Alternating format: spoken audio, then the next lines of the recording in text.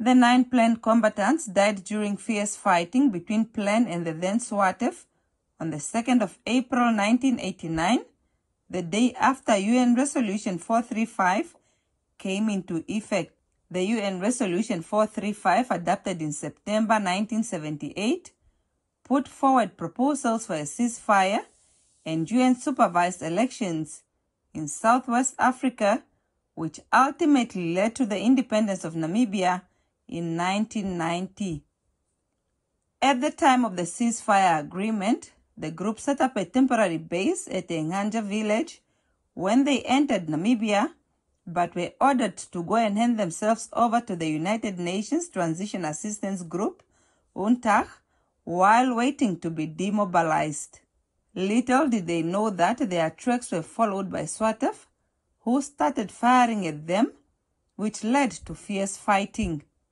Nine of the 13 PLAN combatants were buried at the village and three at Oshatotwa. Various members of the community, as well as family members of the former PLAN fighters, decided to exhume the remains buried in unmarked graves and reburied them in a mass grave, following complaints that those who died in the battle are forgotten by the government.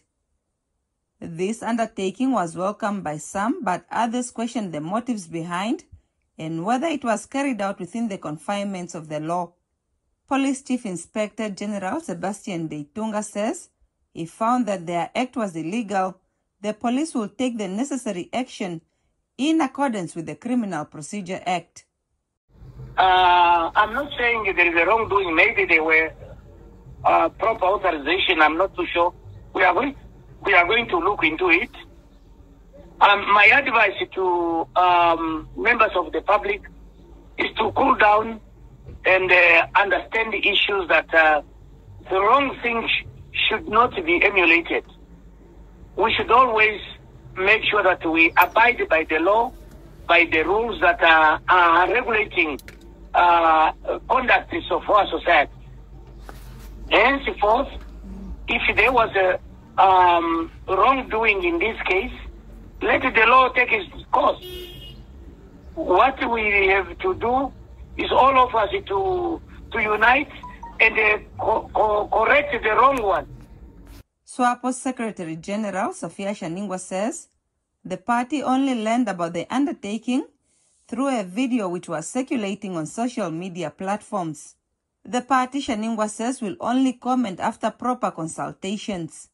The organizers now plan to erect a tombstone at the newly established mass grave to be followed by an unveiling on the 26th of August this year. Ndapandashuya NBC News. Oshakati.